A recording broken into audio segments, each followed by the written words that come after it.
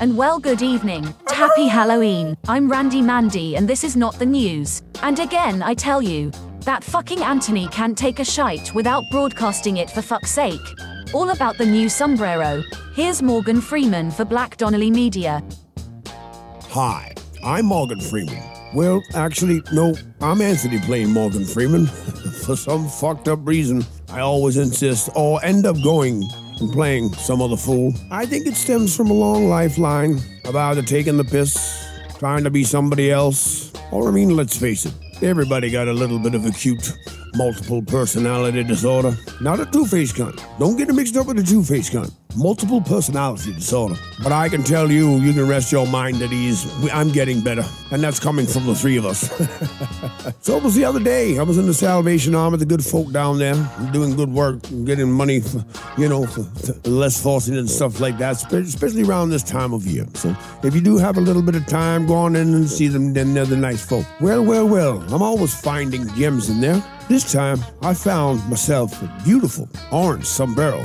Now, when I had seen this sombrero, I couldn't make out what to do with what it was, where it was from. I thought to myself, my God, if Andy could see this now, such a spectacle. Orange sweater, not like the usual kind, you see. might see you get might get a little bit of attention. But when you get to my age, you get used to that. Then I thought to wonder, where did it possibly come from? Who was actually wearing the sweater? Because it's a little bit funky, a tad on the fucked up side. but you know me, always charming, always a fool, and always dapper down. But I can assure you one thing, the mind certainly did wander. My orange Maybe they came from a rock and roll folk band from the Dirty Hippies down in Haight-Ashbury. You know the ones, the counterculture that tried to fight against the U.S. government and try to make a change. God damn it, I wish them kids were successful. You and I both know this world would be a fucking better place. And who am I to judge? I done a little bit of LSD back in the day. My orange sombrero. But then I thought to myself, well, wait a minute. This or might very well be owned by one of them white rappers from Manchester, like the Stereo MCs or some shit. Now, Manchester, I've been there. Have you ever been there? Now, there is a city that's divided by the great game of football. They have been in conflict and rivalry since the dawning of the game. Oh, except for that, I don't know, maybe 12 or so years when the entire city was bombed on the ecstasy. Woo! man, oh man, everybody's got a little sweet story to tell if they've ever graced a presence over there in Manchester. and at that specific very time, well, let's just say in the city of Manchester, every one of them crazy motherfuckers was getting along very well indeed. Especially around that time, I can remember the one holiday when I was over in Glasgow visiting my roots. Dwindled all the way down to the city of Manchester, went to the Hacienda, and let me. T- oh, um, we'll leave that story for another time. That's more of a you fucking have to be there kind of story. But Andy knows.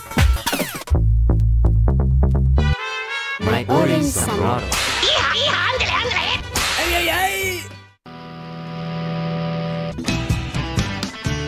But it was then that the notion crossed my mind quite a few times, several times actually. I'm sure you can agree on this one with me. You know that this sombrero definitely was worn by some kind of draft dodging, dirty fucking hippie.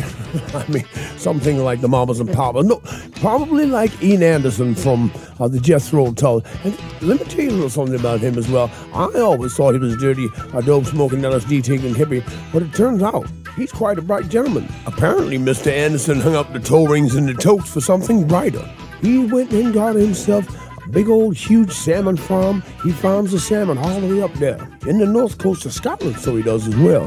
He makes quite a pretty penny doing it. Good Lord, sometimes I scratch my head when I think of the money that me and Andy could have made poaching them salmon. He would have liked that. My orange sombrero. But it was then that I got to thinking about long time ago, when I was a wee boy. I used to sit up late at night with my granddad Dunnigan, watching them cowboy movies, those old spaghetti westerns. Surely the God, a fucking cowboy must have been wearing this sombrero. you know what I'm saying? But mind you, looking at our Anthony, he looks like something somebody would have turned up in for the interview to get into the goddamn village people. I've often wondered about that boy. Something tells me for some reason I don't think Andy would like him.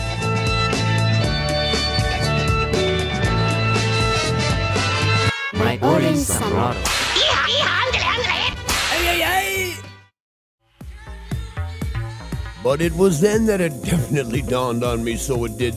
Surely to God it must have been Moses of the dance floor of thy boogie juju with the commandments of thy house music that must have worn this sombrero. Everybody can see that one. And my God, I've seen it all now. The life and times of who wore the goddamn sombrero. But there is a message behind the sombrero. Sometimes some clothes might look funky, that might not be your type, or sometimes you look at someone and go, what the fuck is they wearing? But the thing is, the moral of the story is, be you and do what you gotta do. But there's a bigger moral as well. You see, through all the hands that that uh, orange sombrero might have uh, traveled through and worn and went to here, there, and this, that, and the next thing, remember, it was purchased at the Salvation Army, and they could do with your help right now, especially this time of year. So go down. If you don't want to buy anything, you can certainly drop a little itty bitty thing off. I'm going to go down there myself tomorrow with hopes that I might bump into my old friend Andy. In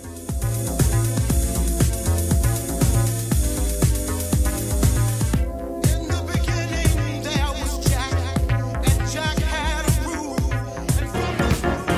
When the bastards get you down, tell them to eat shite and get off of your tits. Black Donnelly Media.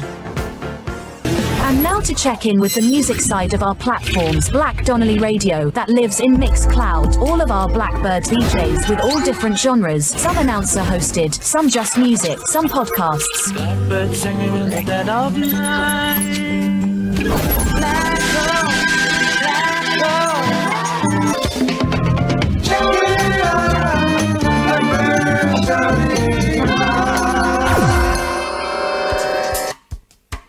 Day when it comes once a year, everybody gets dressed up to celebrate that old tradition of Halloween. Although for these two, some might say Halloween is every fucking day and we love it.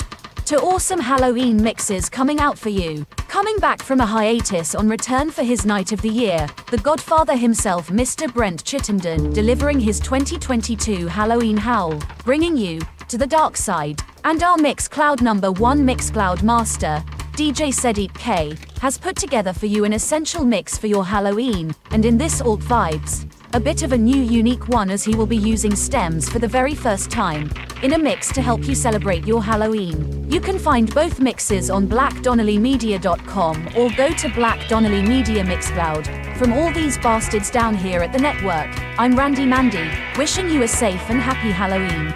It is Black Donnelly Media,